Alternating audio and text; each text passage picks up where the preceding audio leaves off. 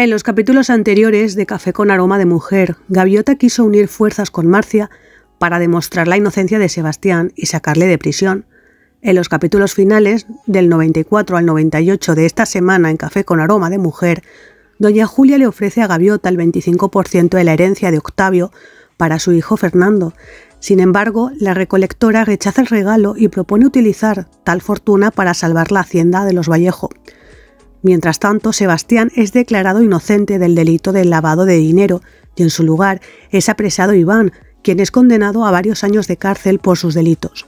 Carlos Mario, por su parte, también es detenido por narcotráfico, secuestro y multitud de crímenes más. Ahora Marcia podrá vivir sin tener que esconderse de su malvado esposo. Por otro lado, y a pesar de todo lo causado, Lucía busca a Sebastián para disculparse por el daño que ha hecho y devolverle su anillo de bodas.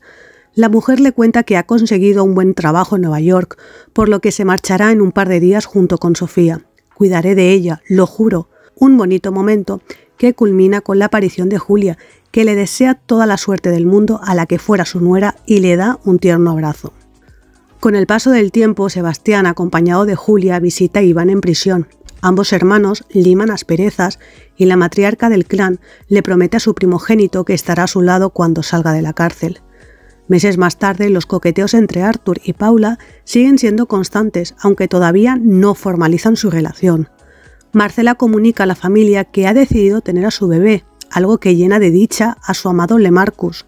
La alegría de la familia culmina con la boda de Sebastián y Gaviota. Esta última además triunfa en los negocios, haciendo de su cooperativa todo un éxito comercial, un broche de oro para una historia dulce y amarga como el mejor café. ¿Te gusta mi contenido? Te invito a que te suscribas a mi canal. Recuerda activar la campanita para que YouTube te avise en tiempo real cada vez que yo suba nueva publicación y seas el primero o la primera en visualizar mi contenido. Recuerda que cada semana tenemos una cita en este canal en Social J.